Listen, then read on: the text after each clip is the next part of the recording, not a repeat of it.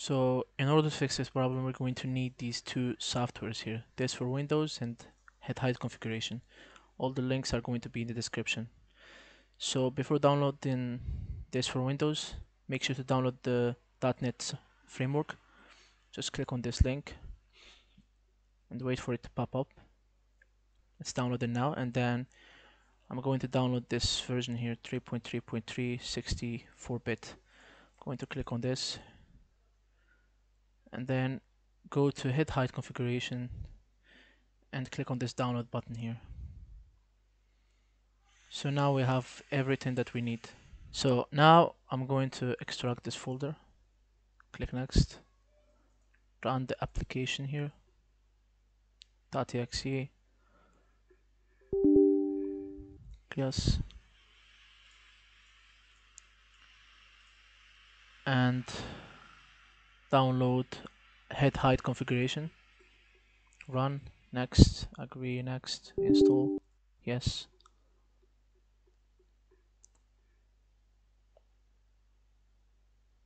they're going to ask us to restart the PC, so I'm going to restart it. So after restarting my PC, I'm just going to run DS4Windows again. Okay.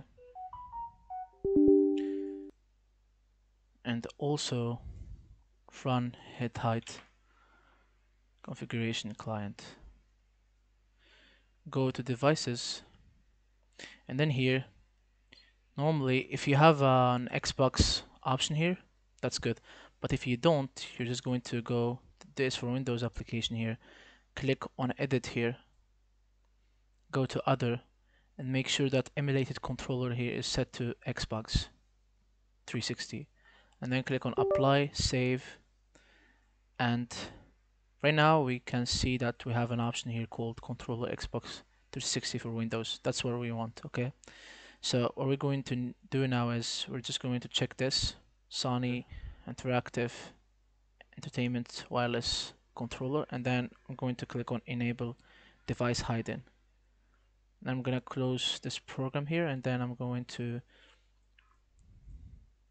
just to make this easier for you we're going to set going to enable this option here start minimized and run at startup okay so you don't have to run the program every time you start your PC. So we can also confirm that everything is okay if we go to this icon, this Windows icon here and click on run, right click on it, then click on run and then type joy.cpl. If you have only one option which is control Xbox 360 for Windows here, that is okay. If you don't then you might have um, skipped a part or something okay but this should be this this should be okay now okay just click on ok and now let's try and launch the game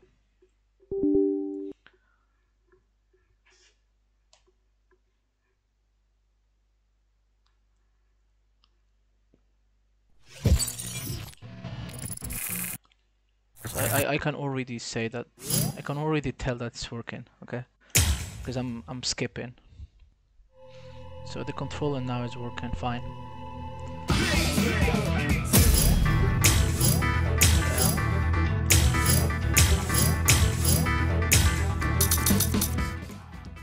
So yeah my controller is working now. Everything is fine. If I go to offline for example training I can choose my character here. No, say, I don't know, Ichigo.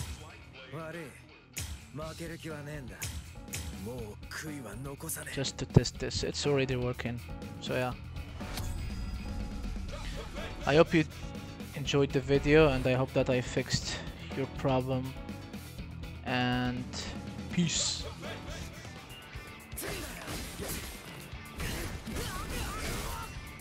やるじゃねえかそこだ今のやばかった俺が守る